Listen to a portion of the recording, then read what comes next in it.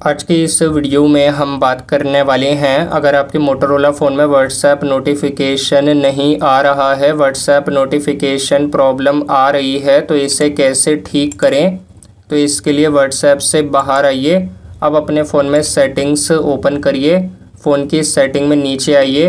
नीचे आएँगे तो ये नोटिफिकेशंस आएगा, इस पर क्लिक करिए। यहाँ पे आने के बाद आएगा अब ये ऐप नोटिफिकेशन तो ये ऐप नोटिफिकेशंस पे क्लिक करिए।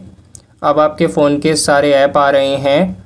अब यहाँ पे आने के बाद ऊपर ही मोस्ट रिसेंट आएगा, इस पर क्लिक करिए। यहाँ पे ऑल ऐप्स आएगा, इस पर क्लिक करिए। अब फ़ोन के सारे ऐप आएँगे तो नीचे आइए। और नीचे आएँगे तो ये व्हाट्सएप आएगा व्हाट्सएप पे क्लिक करिए। ऊपर आएगा ये व्हाट्सएप नोटिफिकेशंस तो आपके फ़ोन में ये बंद है तो इसे ऑन करिए। यहाँ पे अब ये ऑन होने के बाद बैक आइए।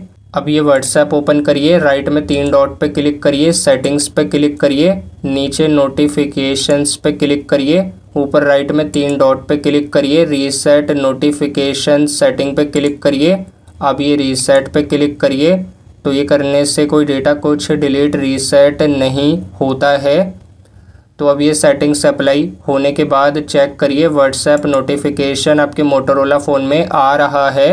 अगर ये वीडियो पसंद आई तो इस वीडियो को लाइक ज़रूर करें।